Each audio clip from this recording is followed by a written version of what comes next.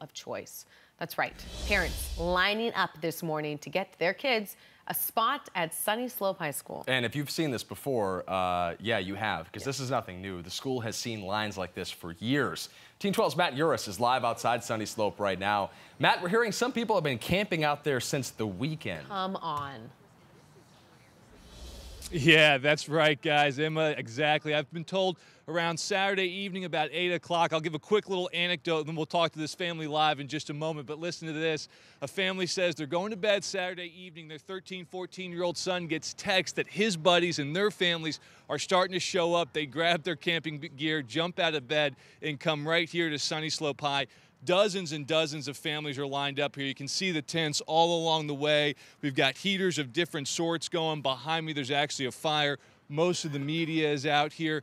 Last year, I'm told by a family that 81 students were let in. This is all a product of school choice and parents wanting to get their kids a better opportunity at a better education. Sunnyslope High is rated very, very high for the area, not only in Arizona, but throughout the country. I'm going to ask our photographer to pan down this way, get a little look at the other media and the dozens of tents that are lined up, just to give you a little bit of the, the feel. And even for early this morning, the energy level is high. I'm told the farther back you go on the line, people say they can feel the anxiety building. If you're about where I am now, they believe there's a pretty good chance that their son or daughter is going to uh, get into this good school. I'm joined now by Sarah. We were chatting earlier. Yeah. I just shared a little bit about your, of your story of grabbing that camping gear and getting out here with your son Luke as quick as you could. Yep.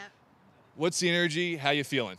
Well, I like what you just said. I, am going to hold on to that. I really hope that we have a good chance. We're number 30, so I think there's like 100 kids in line here, or just just under, and we're excited. I mean, we were planning to come and stand in line. We weren't planning to stay two nights uh, in our tents, um, but you know, it's it's been an adventure. Usually, when camping in this area, you get mountains and dirt roads. Not quite the same scenery yeah. here. There's no hiking happening, so. I'm told everyone's been very friendly though and orderly.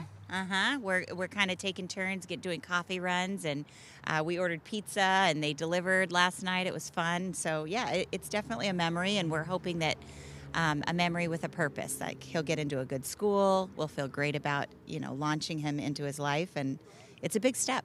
Luke, your mom's been talking about you. We gotta get you on TV real quick. Are you excited about the opportunity to come to school here? Yeah. How come, man? Um, it's just a really good school, and a lot, pretty much my whole friend group's going. So it would just make like high school so much easier if I had my friends with me. Good luck, man. Might talk to you again in just a bit. Thank you. Guys, I'll go ahead and throw it back to you in the studio. I do want to share one last thing. There's actually a couple of RVs parked out behind me as our photographer pans, and we head back your way to that uh, warm studio at 12 News. Paul and Emma.